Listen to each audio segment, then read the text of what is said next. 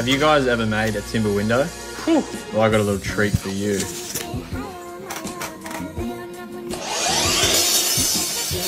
So it's actually really simple how to make these timber windows. It's the same thing as a door jamb. So if you know how to make a door jamb, you'll be sweet.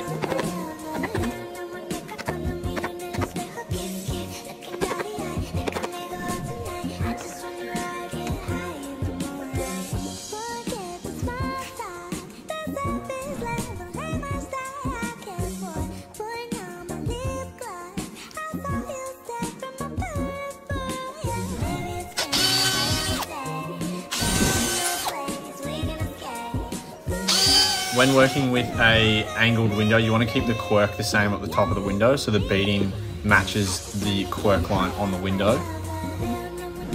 Glass and now just use this little guy to find the angle of um, when I cut the window. And that one up there, same thing.